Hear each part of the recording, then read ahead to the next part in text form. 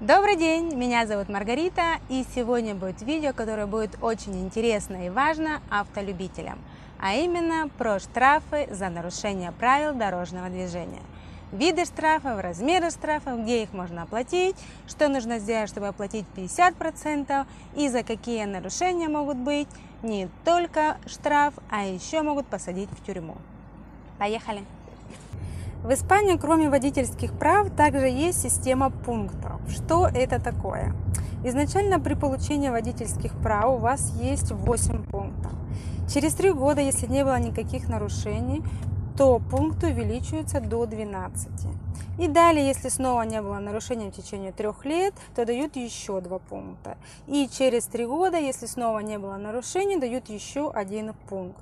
Так максимальное количество пунктов составляет 15. Для чего нужны эти пункты? При каком-либо нарушении оплачивается не только штраф, а также могут забрать какое-то определенное количество пунктов. Что делать, если не осталось пунктов? В этом случае вы не можете управлять транспортным средством в течение полугода.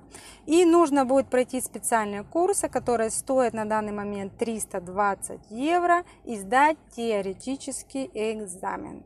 И после этой процедуры у вас снова появится 8 пунктов. Как можно выяснить, сколько у вас пунктов? Для этого нужно зайти на страницу dht.s. Я вам оставлю ссылочку, где вы сможете сами посмотреть эту информацию. Что касается штрафов, бывают три вида штрафов. Легкие 100 евро, тяжелые 200 евро и очень тяжелые 500 евро.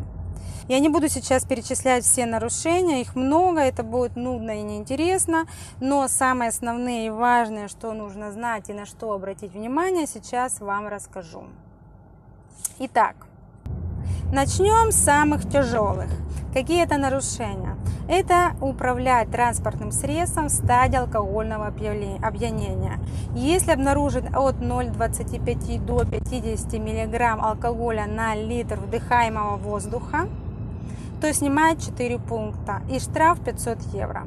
Если доза алкоголя превышает 0,50 мл на литр вдыхаемого воздуха, то снимает уже 6 пунктов и 1000 евро штрафа. А также могут задержать от 3 до 6 месяцев.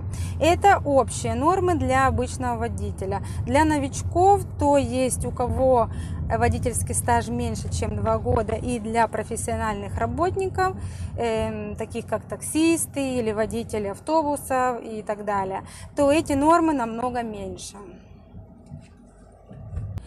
Управление транспортным средством под эффектом наркотических средств и психотропных препаратов влечет за собой штраф в виде 1000 евро и 6 пунктов минус.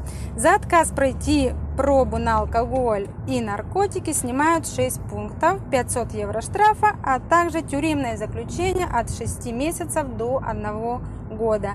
Из также могут забрать права от 1 года до 4 лет. Если в машине обнаружат средство, которое заглушает радар или мешает его правильной работе, то в этом случае снимают 6 пунктов и 6 тысяч евро штрафа. А также на СТО, где был установлен этот прибор, накладывают штраф от 3000 до 20 тысяч евро. Так что имейте в виду, это очень серьезное нарушение. Такие виды нарушений, как обгон в неустановленном месте, подвергать в опасность велосипедистов при обгоне, бросать в окно предметы, которые представляют опасность, не соблюдать знаки дорожного движения, несоблюдение дистанции между транспортными средствами, включать задний ход на трассах, влекут за собой штраф в виде 200 евро и 4 пункта минус. За вождение без ремня безопасности и использование телефона или других гаджетов снимают 3 пункта и 200 евро штрафа. Кстати, пристегнуты должны быть все, и в случае, если один из пассажиров не пристегнут, неважно впереди или сзади, то он сам за себя платит штраф, а с водителя все равно снимают 3 пункта.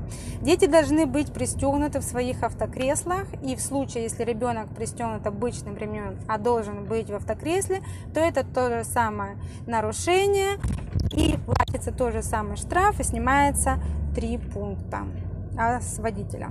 Это мы разобрали очень тяжелое и тяжелое нарушение, а также есть легкие, за которые не снимают пункты, а только есть штраф в виде 100 евро. Какие это нарушения? Это управление транспортным средством без верхней одежды, в шлепанцах, без обуви или на каблуках, кстати. И с высунутым локтем в окно, включать громко музыку в специальных местах, где нужна тишина, такие как э, госпиталь или э, рядом с э, домом для престарелых, а также украшать машины всякими наклеечками, висюльками, которые мешают видимости и нормальному управлению транспортным средством. Все это легкие наказания, за которые не снимают пункт, а только платится штраф в виде 100 евро. Что касается нарушений за превышение скорости, есть специальная таблица, по которой можно определить, насколько было превышение и какой штраф будет накладываться. Я оставлю вам ссылку, где вы можете посмотреть эту информацию, но обычно за превышение до 20-30 км в час, это в зависимости, конечно, какое было ограничение первоначальное, накладывается штраф в виде 100 евро и пункты не снимаются. Если превышение уже было в два раза, то снимают уже 6 пунктов и 500-600 евро штрафа. И за превышение в полтора раза снимают 2 или 4 пункта и 300-400 евро штрафа. Это все зависит от первоначальной ограничения скорости. В общем, я оставлю ссылку, по которой вы можете посмотреть, по каким там весь расклад по всем скоростям, насколько было увеличено и какой штраф накладывается, и сколько пунктов снимается. Где и как мы можем оплатить штрафы и как это сделать? Штрафы можно оплатить по интернету, позвонив также 060 на телефон 060 в любом банке или в офисе ДХТ. А также вы можете пойти на почту, но на почте с вас отдельно снимут 5 евро и плюс 1% от суммы штрафа.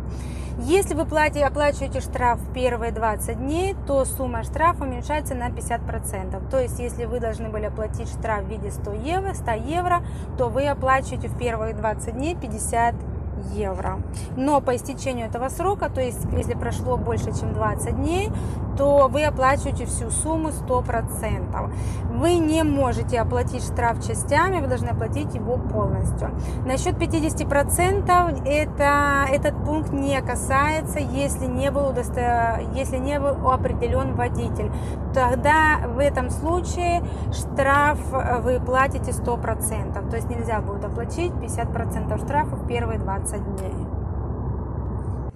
Следующие виды штрафов – это за неправильную парковку. Штраф может быть от 60 до 200 евро в зависимости, в какой зоне вы оставили машину. То ли это тротуар или зона для инвалидов и так далее. А также вашу машину могут, может забрать эвакуатор на штрафплощадку. За это вы также должны будете заплатить плюс-минус 120 евро в зависимости от города. Как видите, штрафы здесь в Испании достаточно большие, и я специально в этом видео показываю вам дорогу, чтобы вы увидели, как здесь водят машины, транспортные средства, и вообще, как здесь трафик. Кстати, мы едем в субботу, в август месяц, машин очень мало, поэтому трафик достаточно слабый. Как видите, полицейские не стоят на дорогах, очень редко, когда они стоят, но очень часто можно встретить патрульные машины, полицейские машины на дорогах. Также есть очень много машин, которые закамуфлированы, не знаю как, то есть э, это полицейский, но это как бы обычная машина, то есть вы не поймете, что это полицейская машина.